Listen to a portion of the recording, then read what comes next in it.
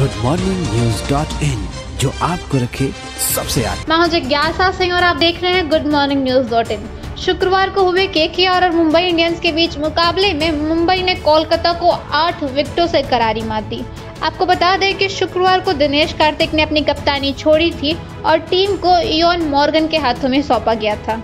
पर बतौर कैप्टन उन्हें पहले ही मैच में हार का सामना करना पड़ा।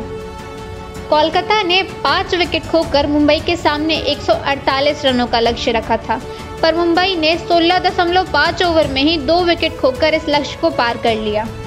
बुमराह की घातक गेंदबाजी के आगे केकेआर के सारे बल्लेबाज पस्त हो गए। आपको बता दें कि मुंबई का ये आठवां मुकाबला है और वो छठे जीत के साथ अंक तालिका में पहले पायदान पर है। Good morning news dot in जो आपको रखे सबसे आगे।